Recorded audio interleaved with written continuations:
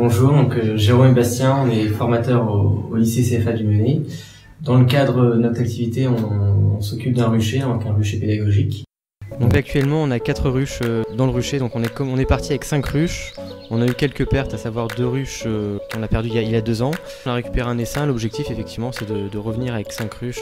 C'est un rucher qui est destiné avant tout aux élèves et qui a pour but de faire découvrir le, monde de l'abeille, de l'apiculture. Alors on peut estimer qu'en moyenne, on a, on a 40 000 abeilles dans, une ruche. Après, effectivement, ça dépend euh, de l'état de santé. Donc, euh, en général, on sous-pèse les ruches pour estimer effectivement par rapport au poids la quantité d'abeilles dans la ruche. Alors euh, la première récolte qui a été réalisée en 2018, c'était plutôt un miel euh, donc de printemps. Ici donc on a des ruches qui sont sédentaires, on va pas les bouger, donc c'est plutôt un miel qu'on va qualifier de toute fleur. L'objectif c'est de partager un peu nos connaissances euh, dans ce domaine.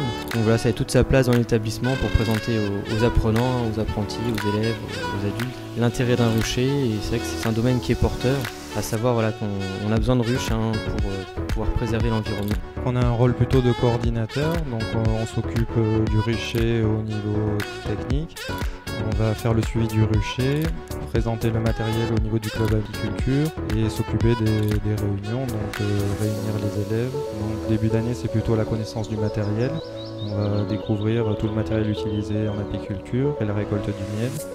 S'il y en a qui sont intéressés par le club apiculture, vous pouvez nous rejoindre n'importe quel moment de l'année. Donc euh, là, en mai-juin, on fera euh, deux rendez-vous pour euh, mettre en place les réos afin de récolter le miel en septembre.